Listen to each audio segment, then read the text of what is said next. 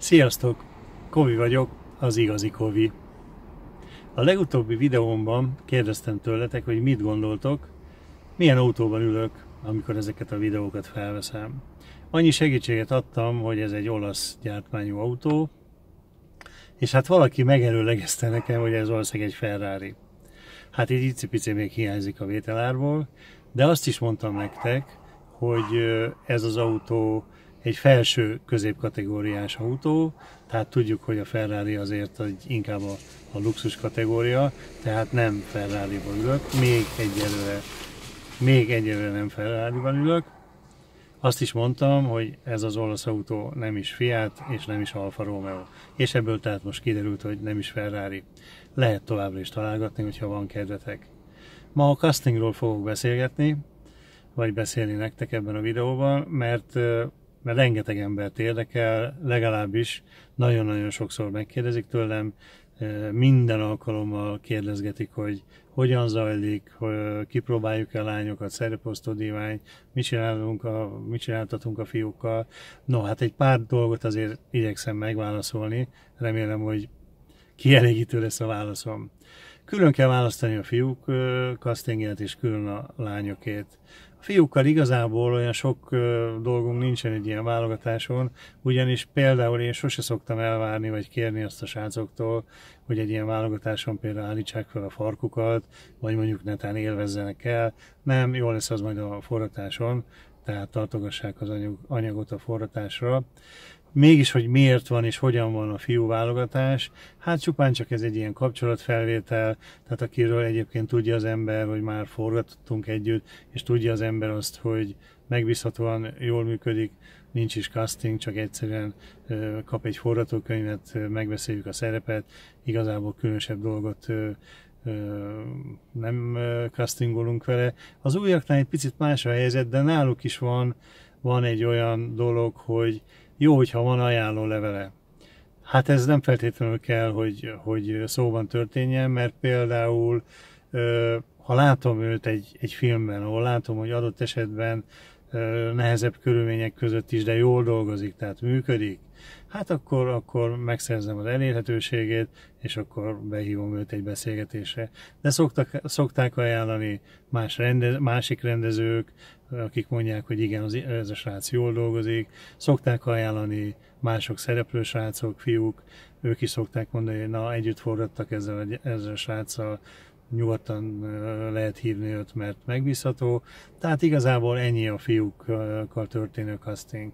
Nos, egész más a lányokkal, amikor castingolunk, mert ugye, hát ugye azt tudjuk, hogy a, a felnőtt filmek, pornófilmek jelentős részét, többségét férfiak nézik. Tehát igazából ezeket a filmeket a lányok adják el. Tehát nagyon nem mindegy, hogy hogyan néznek ki, de ne szaladjunk ennyire előre, mert nálam egy casting nem a, vetkőz, nem a vetkőzéssel kezdődik, tehát mint ahogy hallom, megjelenítette, tudom azt, hogy más rendezők, bejön a lány, szia, mutatkozz be és vetköz, nálam ez teljesen másképpen van.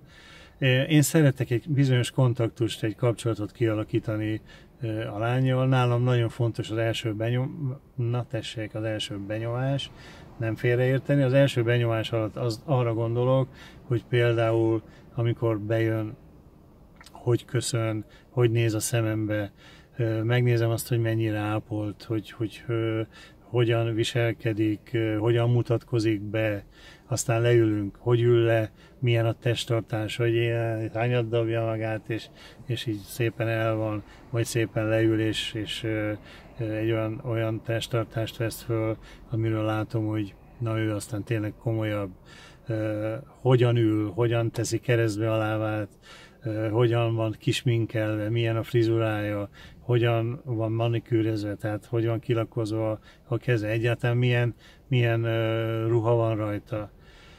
Ezek nagyon fontos szempontok számomra, és akkor még nem is beszéltünk. Nagyon fontos, hogy hogyan kommunikálunk egymással, mennyire tudunk egy, egy húron pendülni, milyen beszédkészsége van. Ebből azt tudom leszűrni, hogy ha, ha nem nagyon tud beszélni, akkor nyilvánvalóan nem osztok rá olyan szerepet, ahol a filmben beszélni kell és, és színészkedni kell. Egyébként hát a színészkedéssel kapcsolatban az egy nagyon fontos szempont, hogy itt 18-20-20 valány éves lányokról beszélünk, akiknek adott esetben még kamera tapasztalatuk sincs, hiszen miért lenne, nem is szerepeltek. Lehet, hogy első film, ez az első film mm, ahol dolgozni fognak, mitől lenne kamera tapasztalatuk? Hát nyilvánvalóan, rájuk, nyilvánvalóan rájuk nem hoztunk olyan szerepet, ahol tényleg színészkedni kell ha valaki tényleg tud beszélni, akkor elgondolkodhat az ember azon, hogy akkor adok neki olyan szerepet, ahol tényleg van, nem csak szex van, hanem más, más szerep is van. Na ez, ez körülbelül ez az a pillanat, amikor elérkezünk oda, hogy akkor megnézem a testét, kérem, hogy vetkőzzön le, forduljon, mutassa meg magát. Hát fordul, elő szokott fordulni néha, amikor kicsit szégyelősebb, ugye először van ilyen, ilyen válogatáson a, a leányzó, kicsit szégyelősebb, akkor megkérdezi, hogy a bugyit is levegyem-e. Hát szoktam mondani neki, hogy persze, hát a filmben is mesztelenül leszel. Hidd el, hogy láttam már ilyet egy párat, tehát előttem nem kell szégyenlősködnöd, és hát tényleg akkor így megnézem a, a lánynak, a szereplő jelöltnek a, a testét találkoztam nagyon sok, nagyon-nagyon sok olyan lányjal, akik bombázóan néztek ki, de nem tudtak beszélni. Nem tudtak viselkedni úgy normálisan. Akkor tudtam róluk, hogy ők nagyon jól lesznek, remélhetőleg jók lesznek a szexben, majd a forratás alatt, de rájuk nem fogok olyan szerepet, olyan, olyan jelenetet osztani, ahol tényleg szerepelni kell. És hát ugye itt megint ezt is külön kell választani, mert dolgoztam én nagyon jó csajokkal, akik aztán fadarabok voltak. Erre van, egyébként erre szokták azt mondani egyes rendezők, hogy kipróbálják a lányokat, mielőtt szerepet adnak neki, mert mondván, hogy ha nem jól tudsz szopni mondjuk, akkor hogyan tudhatnál, hogyan merjelek én téged berakni a filmbe, ha nem lehet jól veled szexelni, dugni, akkor hogyan merjelek téged berakni a filmbe. Ezért ezt a helyzetet vannak olyan rendezők, akik kihasználják. Ugye erre szokták mondani, a szereposztó dívány, ami egyébként érdekes, hogy nem is a felnőtt filmek műfajából származik, hanem a színházi világból. Tőlem is meg szokták kérdezni, hogy létezik-e nálam szereposztó dívány. Nem létezett, szoktam mondani viccesen, nekem kicsi volt az irodám, és nem fért be. Tehát magyarán én nem próbáltam ki a jelenetek előtt a lányokat, sőt, hát ez, ez egészen a fotós múltamból jött ez a szokásom, hogy semmiféle ilyen kapcsolatom nincs a modellekkel. Azt is megmondom, hogy miért, mert amikor fotóztam, én nagyon sok aktot fotóztam, meg merészebb képeket is csináltam, mielőtt elkezdtem felnőtt filmezni, de mindig is az volt a véleményem, hogyha egy lány, egy, egy, egy modell jól néz ki, akkor nincs arra szükség, hogy, hogy hozzám kedves legyen. Ő amúgy is be fog kerülni, ő amúgy is, vele amúgy is meg fogom csinálni a fotót, ő amúgy is be fog kerülni a filmben, a filmbe. Tehát megkapja úgyis a szerepet, nem, nem feltétlenül, hogy kedves legyen hozzám. Arról nem beszélve, hogy belegondolhatok egy olyan szituációba, hogyha mondjuk forgatunk, és mondjuk be, be kiabálok a jelenetbe, hogy te figyelj, most nem jól csinálod, most ne így csináld, légy szíves, mert ez így nem jó, és akkor kiszól nekem oda a, a stáb minden tagja előtt, de bezzeg, amikor tegnap duktál, akkor jó voltam. Na ez mekkora ciki szituáció lenne. Úgyhogy nálam nem létezett, nem is létezik szereposztó divány. Nem mondom, még egyszer mondom, nem mondom azt, hogy ez egyes rendezőknél nem működik, nem divat, nálam ez nem volt divat. Tehát ott tartottunk nagyjából, hogy még csak most nézem meg a, a lányoknak a testalkatát, és hogyha ha tényleg jól néznek ki, akkor akkor jó reménnyel szerepelni is tudnak a filmekben. Egyébként az is nagyon fontos, hogy milyen arányban szerepelnek egy ilyen filmben kezdők, tehát új lányok, vadonatújak, és, és sztárok például. Mert igazából a sztárok, a nagy nevek azok, akik részben eladják a, filme, a filmet, de nagyon fontos az, hogyha mondjuk van, mit tudom én, hét lány egy filmben, akkor abból mondjuk legyen három igazi nagy név, igazi nagy sztár, és mondjuk legyen négy olyan lány, aki, aki teljesen új. És akkor azok is megkapják, amit szeretnének, akik, akik a sztároknak a rajongói, és hát azok is megkapják, azok is élvezni fogják a filmet, akik kíváncsiak a, az újakra. Tehát nagyon-nagyon fontos az, hogy, hogy, hogy egy, egy válogatáson hogy jelenik meg egy lány.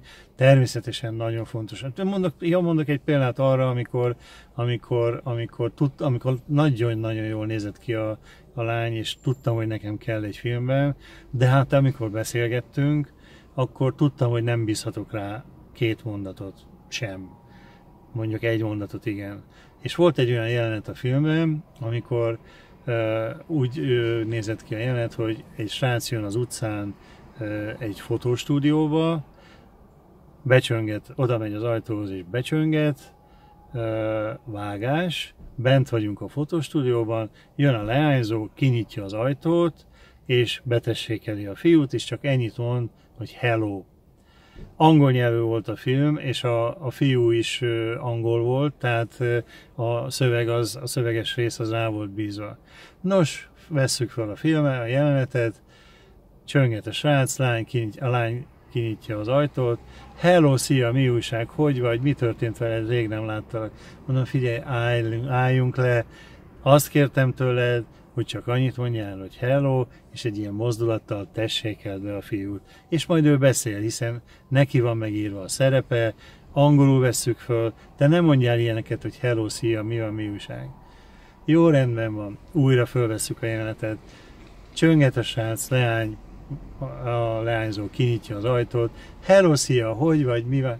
És ezt fölvettük vagy tízszer is, vagy tízszer, de egész egyszerűen nem tudtam elérni azt, vagy nagyon-nagyon, mert már olyan idegesek voltunk, hogy nem igaz, hogy ezt nem lehet megtanulni. Na ez az a kategória, aki, aki jól néz ki, de nem az esze miatt szeretjük. Ez nagyon fontos. Tehát nagyon-nagyon fontos az, hogy, hogy egy ilyen válogatás során, számomra nagyon-nagyon fontos, hogy egy ilyen válogatás során meggyőződjek arról, hogy nem csak jól néz ki az a, az a lány, hanem, hanem tudjam azt, hogy mire számíthatok, és mi az, a milyen, milyen szerepet adhatok neki. Vannak ugye, ugyanis olyan filmek, ahol igazából csak szex van a jelenetben, tehát rögtön, mit tudom én, kinyit a kamera valami virágról, vagy nem tudom, valamilyen valamilyen kellékről, és már rögtön szex van. Na ezek a lányok ezekben a filmekben nagyon jók. De ahol szerep van, ahol sztori van, ahol történet van, és ahol ö, el kell játszani bizonyos szerepeket, na azzal nagyon kell vigyázni. Pontosan azért, hogy ne essünk bele ilyen csapdába. Hát úgy most gondolom, hogy, hogy ennyi így első ö, mm, elsőre, amit el, ami így hirtelen eszembe jutott a castingokkal kapcsolatban, így talán elég lesz. Ha tetszett, amit most hallottatok, láttatok, akkor kérem lájkoljátok a videót kommenteljetek, és hogyha lehetséges, akkor adjatok ötleteket, témajavaslatokat, miről szeretnétek hallani, mit szeretnétek látni. Kérlek szépen, hogy osszátok meg a videót, és iratkozzatok fel a YouTube csatornámra. Köszönöm, sziasztok!